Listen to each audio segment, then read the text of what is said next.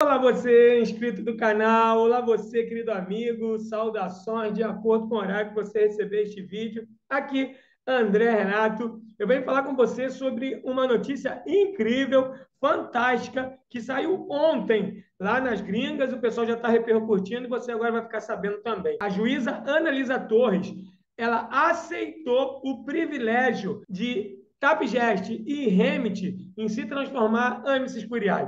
Você está acompanhando aqui no canal que tanto a Tapjet quanto a Iremit solicitaram ao tribunal para poderem participar do julgamento de SEC versus Ripple como amigo do tribunal, apresentando com isso também seus relatórios para defender Ripple, dizendo ali para a juíza, dizendo que a Ripple e a XRP não constituem contratos de investimento, não constituem holding, não são securities. Tanto a Tapjet quanto a Remit, elas querem defender Ripple no tribunal perante a juíza presidente, perante os outros juízes, para provar para o, o, tribunal que XRP não é um título, XRP não é security, XRP não é um contrato de investimento. Não existe contrato entre Tapjet e Remit com XRP, com XRP Ledger, com Ripple. Hoje é um dia muito importante, é o dia 12 de outubro, o dia que se comemora o Dia das Crianças, e a sua criança interior, a minha criança interior, nós, investidores, estamos muito felizes com essa notícia que com certeza vai fazer uma diferença a favor de Ripple no processo da SEC. Porque Tabjet e Remit vão apresentar relatórios e vão apresentar para Analisa Torres algumas posições e alguns posicionamentos que provavelmente a juíza não tem. E por isso ela aceitou esse privilégio de Amicis Curiae para Tapjet e para Remit. E, da, e também é uma vitória da juíza também contra a SEC quando ela não aceita o pedido da SEC, o apelo da SEC para bloquear Amicis Curiae de Tapjet e Remit. Além dela não aceitar esse pedido, ela deu a Ripple essa possibilidade de apresentar relatórios novos a pedidos dessas duas empresas. Vou mostrar para vocês aqui a, a matéria que saiu, obviamente, na mídia. Você sabe como a gente repercute aquilo que John Deaton fala, né? Então, aqui, John Deaton, apenas adicionado à nossa biblioteca de documentos, a juíza Analisa Torres concede licença para IREMIT e TAPJET para arquivar resumos dinâmicos em SecGov versus Ripple. A lista também acrescentou uma nota que o resumo está previsto para 14 de outubro de 2022. Hoje é dia 12,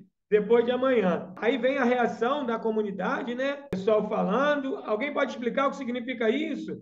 Significa Iremit e Tapjetes pode dar ao juiz informações adicionais que, em sua opinião, provam que o XRP não é um contrato de segurança, não é um security, não é um contrato de investimento, que ambos estão usando para pagamentos e a moeda não é uma segurança. Se eles usam para pagamentos, XRP é uma moeda ponte, não é um security, não é um contrato de investimento.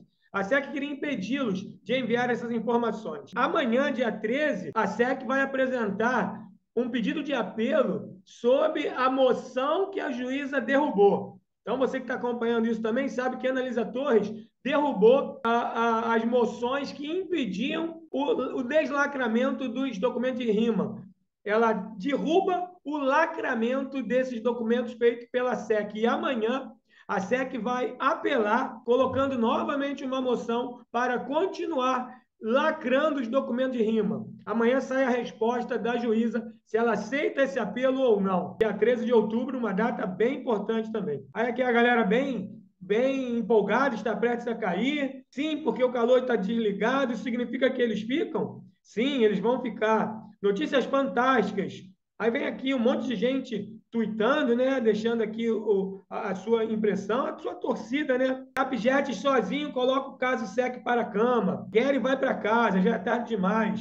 Obrigado pela atualização, CryptoLol. Essa matéria aqui da Zcrypto que também vem trazendo o tema. É muito importante porque a mídia está repercutindo, né? Juíza analisadores do caso SEC versus Ripple aprova duas empresas para apresentar seus âmbitos curiais. O executivo-chefe da Ripple, Brad Gellinghouse, ofereceu uma pista sobre quando a épica batalha legal da empresa com a Comissão de Valores Imobiliários, a SEC, provavelmente será concluída. Otimista, ele acredita que o processo acabará em três ou quatro meses, embora haja uma possibilidade que possa ser prolongado. Após dois anos de vitórias e perdas processuais, o processo sobre se as vendas de XRP violar, violar as regulamentações de valores imobiliários pode chegar ao fim em breve. Falando aos painelistas da conferência DC Fintech Week, na terça-feira, o senhor da Ripple, Brad Gellinghouse, disse que espera que o caso entre SEC e sua empresa, que começou em 2020, termine até o primeiro semestre do próximo ano, 2023.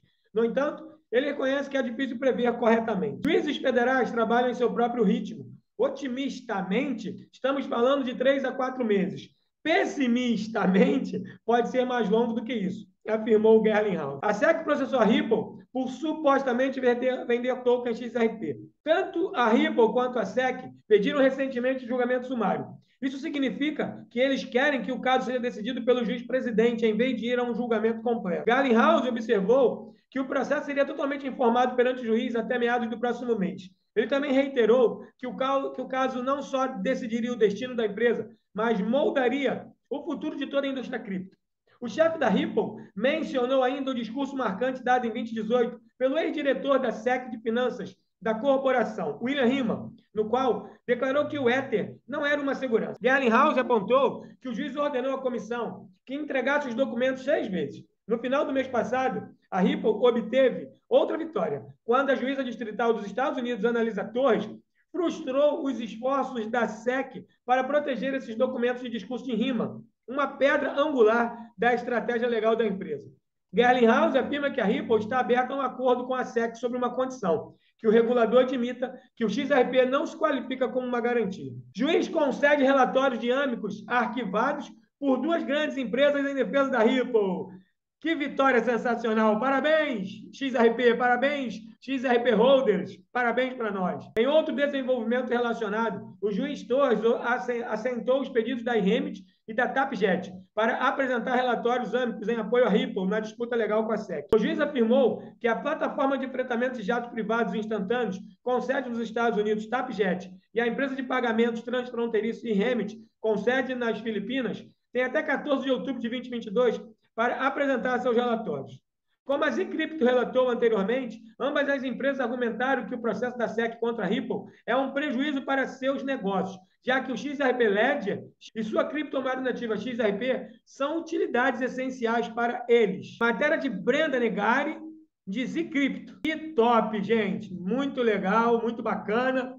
Que sensacional, que notícia maravilhosa para você nesse dia 12 de outubro. Sucesso para a gente, ótima notícia. Agora, a SEC enfrenta um problema muito grave, não só exames escuriais novos, não somente isso, mas a negativa da juíza Analisa Torres em atender os caprichos da SEC. Incrível essa posição da juíza, isso é muito importante para o processo e que o processo termine com aquele que tem que ser o vencedor sendo vencedor, que a justiça seja feita. Grande abraço para você, Legal saber que você está aí do outro lado me emprestando seu tempo, que é o seu bem mais precioso. É uma honra fazer conteúdo para você. Vamos em frente. Grato você compartilhar os vídeos, grato você compartilhar as lives.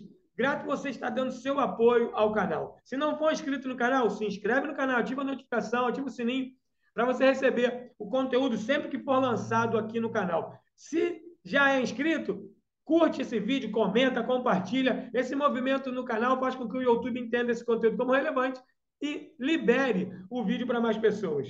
Lembrando para você que esse é um conteúdo educacional, jamais será dar indicação de compra ou venda de entrada ou do mercado nos meus vídeos e lives. Um grande abraço, grato pela presença, eu te vejo na jornada. Tchau, tchau.